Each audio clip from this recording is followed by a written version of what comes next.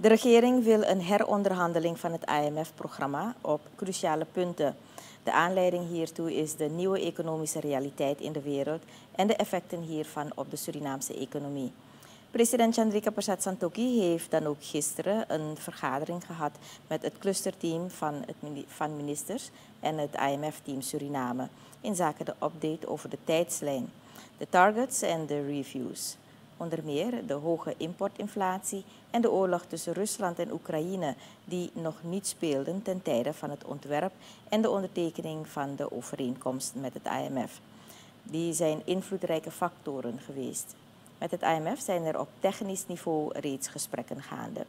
Zeer binnenkort zullen op regeringsniveau ook gesprekken worden gevoerd om gezamenlijk te komen tot een gebalanceerd en geactualiseerd programma, die daarna ter goedkeuring aan de Executive Board zal worden overhandigd.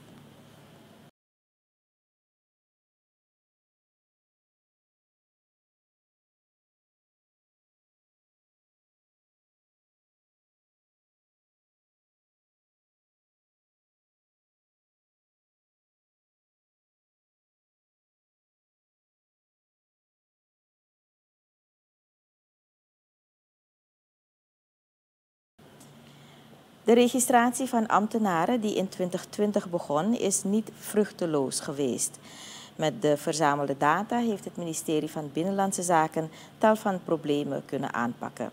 Minister Bronte van Binnenlandse Zaken is zich ervan bewust dat met de bekendmaking dat per 1 oktober 2022 een verplichte registratie voor ambtenaren van start gaat, mensen zich zullen afvragen wat er gebeurd is met de data van twee jaar geleden. De bewindsman geeft aan dat de registratie van 2020 bedoeld was voor het ministerie om een beeld te krijgen van wat er misging binnen de ambtenarij. De registratie van twee jaar terug was niet verplicht en dat was meer voor mijzelf of voor het ministerie zelf om een beeld te krijgen wat er, wat er gebeurd is de afgelopen periode, de vorige periode. En dat beeld hebben we gehad. We hebben heel veel belangrijke data uh, uh, kunnen verzamelen waaruit we hebben kunnen concluderen dat er veel is fout gegaan de vorige periode. Maar Let op, ook die mensen moeten zich weer registreren. Want nu gaat het om een verplichte landsdienaarregistratie voor alle ambtenaren. Somahadjo geeft aan dat de data die verzameld is uit de registratie van 2020 het ministerie heeft kunnen werken aan rechtspositionele zaken van ambtenaren. Bij die informatie hebben we heel veel data gezien. Toen wisten wij precies, er zijn zoveel mensen in dienst genomen, zoveel mensen zijn verkeerd in dienst genomen, zoveel mensen hebben geen werk, zoveel mensen hebben wel beschikking, maar krijgen geen loon, of ze hebben wel loon, maar krijgen geen beschikking. Dus we hebben de probleemgevallen kunnen identificeren en van de probleemgevallen is bijna 90% opgelost. Dus daar zijn we heel erg tevreden mee, maar nogmaals, dat is al afgesloten. Nu ben je verplicht om te registreren. Ze hebben hier een, een, een, een slogan die ik niet wil gebruiken, maar ze hebben gezegd, if nou registreert, het einde van moet je skeren. Want we zetten je loon stop.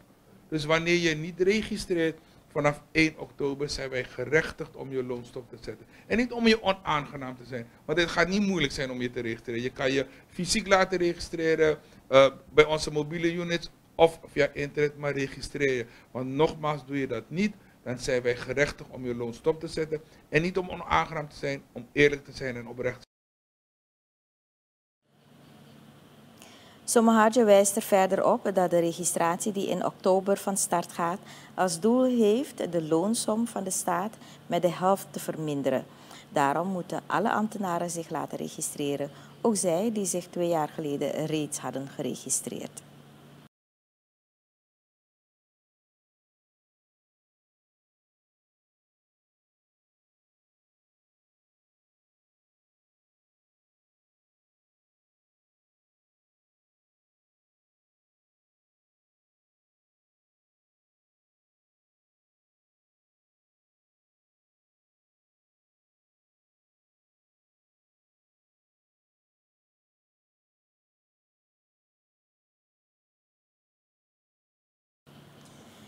De regering en de vakbond bij de energiebedrijven Suriname, de EBS, hebben een akkoord bereikt. Dit vertelt de bondsvoorzitter Steve Geerlings aan onze nieuwsdienst. Hij merkt op dat er een nieuwe loonreeks in voorbereiding is voor de werknemers. Hetgeen het grootste knelpunt bij de personeelsleden was.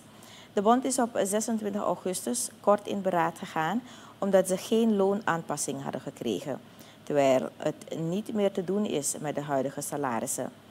Geerlings merkt op dat de gesprekken met de regeringsvertegenwoordigers vorige week gunstig waren. Dit was de reden waarom alle arbeiders het werk hebben hervat na de korte staking. De voorzitter wil niet ingaan op wat er precies is besproken met de regering.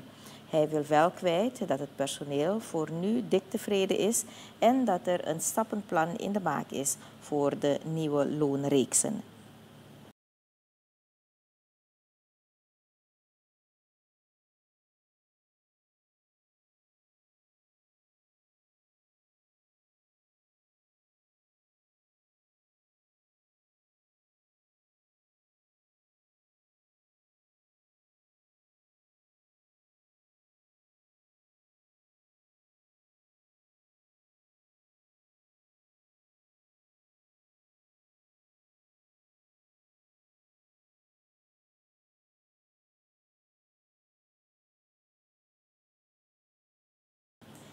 De meningen zijn verdeeld over de vakbondsactie bij het Academisch Ziekenhuis Paramaribo. De nieuwsdienst heeft vanmorgen enkele bezoekers hierover gesproken. Het grootste deel van de mensen is wel op de hoogte van de acties.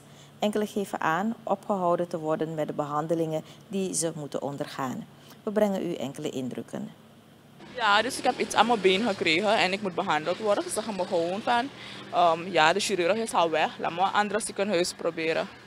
Maar um, hoe, hoe staat het zelf met u? Gaat u um, welke ziekenhuis moet u dus uh, naartoe? Hebben ze u gezegd waar u naartoe moet? Nee, ik heb ze gevraagd, ze hebben me niet gezegd. Dus ik ga zo meteen gaan kijken naar welke ziekenhuis ik moet gaan. Maar het, het, was dus een, een, een, spoedbehandeling dus dat u had? Het is een spoedbehandeling. Het is verschrikkelijk in het land. Het is echt verschrikkelijk. Maar stel je voor, ik heb het punt zit om te sterven. Laten ze me sterven. Ze laten me sterven. En als u me voet ziet, meneer, maar goed. Ubego ise omdat ube me kwa aanrijden me bego luku me chibrada. Maar dat van dienstverlening, de man je pa maar gewoon of de man ben de stroef na asane. De man je pa maar, de man je pa maar bon snel. Ai, de man je pa maar want a man be kisa man kerine anu. De man je pa maar bon snel. Alles aan go snel snel. Het is wel een beetje lastig zo dat uh, er wordt gestaakt. Vooral bij een ziekenhuis. Ja, dat is niet raadzaam om waar er zieke mensen liggen, dat er gestaakt wordt. Dus ik denk, ik hoop dat het snel opgeheven wordt, die staking van hun. En ja, als die mensen uh, hun belangen behartigd worden, want dat sowieso, kijk, iedereen werkt voor een beter bestaan. Nou, ik heb er geen last van ondervonden. Uh, ik weet dat men staakt. En uh, de reden zullen, ik ken natuurlijk ook niet alles, zal zeer gegrond zijn. Maar het is geen probleem van nu. Is al, ik woon al ongeveer negen jaar hier. En is al, ja, elk jaar is er wel iets. Het is al jaren aan de gang. Dus ik vind het wel, het is natuurlijk wel heel serieus wat er gebeurt en hè, waarvoor er hulp nodig is. En zeker de afdelingen en noem maar op. Maar ik, heb, ik moet eerlijk zeggen, ik ben heel goed geholpen en heel snel geholpen. Nou, ik vind het toch fijn dat ze toch die kleine handreiking geven aan de burgers van het land. Toch? Dat de mensen ook hun zaken moeten regelen, ook naar de dochter, ook mensen moeten komen zien. Dat ze ook toch door de vingers kijken. Uh, om toch de portiers, iedereen natuurlijk, uh, dat je toch naar binnen kan gaan. Want anders zou je dierbaren ook verstoken zijn van bezoek. Het personeel van het ziekenhuis dat aangesloten is bij de bond is sinds vanmorgen in actie. Bondsvoorzitter Lloyd Pool vertelde de nieuwsdienst gisteren dat de leden niet content zijn met de houding van de regering ten aanzien van hun tegemoetkomingen en rechtspositionele aangelegenheden. Het personeel is enorm verhit en wil dat de regering werkt aan haar eisen. Minister Amaramadin zou vandaag een persconferentie over deze situatie beleggen, maar zegde het kort voor de aanvang zonder opgave van redenen af. De minister en de directie van het ziekenhuis hebben de bond vandaag voor de kortgedingrechter gesleept.